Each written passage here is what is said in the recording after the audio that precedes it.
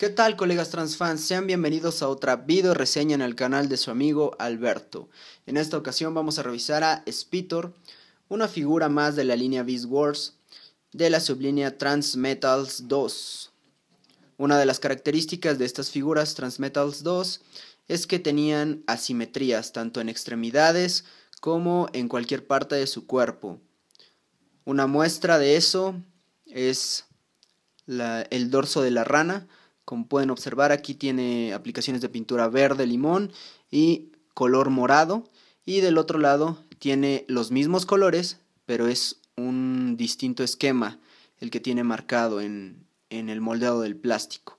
Así también en las patas delanteras y en las patas traseras hay detalles como por ejemplo estos dos cuernitos que tiene aquí, que la otra pierna solamente tiene uno y en lugar de estar hacia arriba está hacia abajo. Muy bonitas figuras, las Transmetals 2.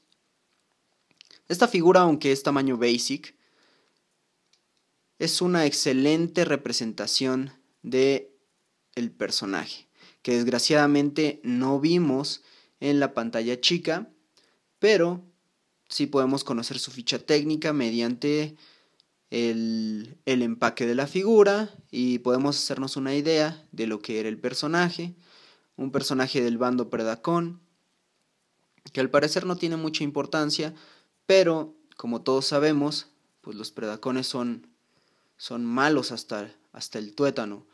Bueno, vamos a empezar con la transformación de esta figura. Es una transformación muy sencilla. Como ustedes saben, a mí no me gusta utilizar los manuales a menos que sea muy necesario. Tiene aquí en la parte posterior una garra que puede sacar tanto en su modo bestia como en el modo robot. Varias figuras transmetálicas tienen tres modos, ¿sí? modo bestia, modo vehículo y el modo robot. Como podríamos decir, tienen dos modos alternos. Pero, desgraciadamente, esta figura no. Lo único que sí es esta garra, que puede utilizar tanto en modo bestia como en modo robot. Cualquier dato adicional acerca de este personaje o esta figura, por favor sean muy amables conmigo y déjenmelo en la caja de comentarios. Primero tenemos que quitar su lengua, que está adosada mediante un poste y un orificio, y podemos ver que la mandíbula se mueve perfectamente.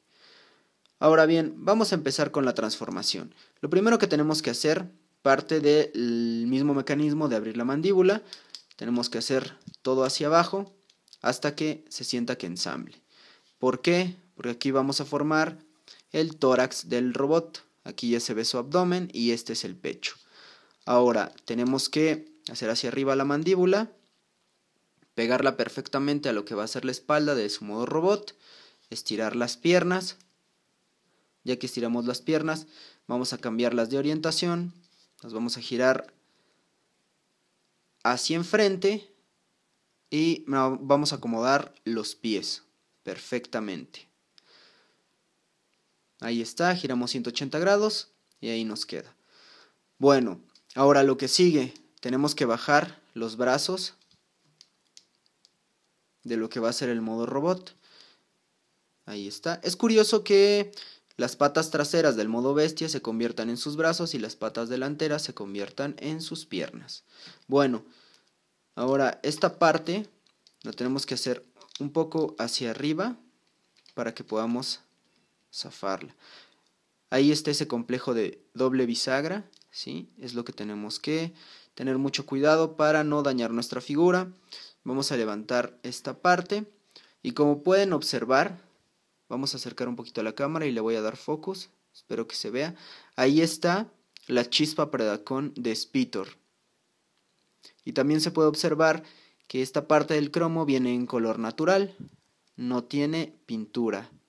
¿Sí? Como en el dorso de, de la cabeza. Muy bonitos detalles. Me encanta que tanto la esclerótica como el iris están en un solo tono, en ese rosa metálico rosa cromado. Bueno, aquí está la cabeza de Spitor del modo robot. Tenemos que doblar esta bisagra así y hacerla hacia arriba. Ahora vamos a rotar, permítanme, le vamos a dar focus, ahí está. Ahora vamos a rotar toda esta parte para que así podamos bajar este panel. Ensambla perfecto y nos queda ahí la cabeza de Spitor. Esta hombrera derecha la podemos dejar así o la podemos bajar. Yo prefiero dejarla abajo y ahora la hombrera izquierda igual la, la acomodamos simplemente y podemos sacar lo que es su garra y hacerla hacia enfrente. Y ahí tenemos, colegas, a Spitor totalmente transformado. Es una figura básica que por poquito llega a ser deluxe. Se ve algo chaparrita, pero por poco llega a ser una figura deluxe. Ahora vamos a colocarle su arma, que es intercambiable, puede quedar tanto en la mano derecha como en la mano izquierda. Y ahí tenemos, colegas, ahora sí, Spitor en todo su esplendor. Ahí está. Desgraciadamente no puedo hacer una comparación de tamaño en esta ocasión, pero es una figura basic. Ya con eso más o menos se dan ustedes una idea.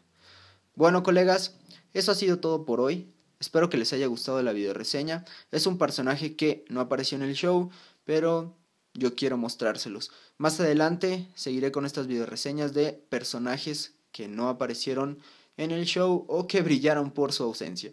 Bueno, colegas, esto ha sido todo por hoy. Me despido, que tengan una excelente jornada laboral. Cuídense mucho, les mando un abrazo y nos vemos a la próxima. Bye.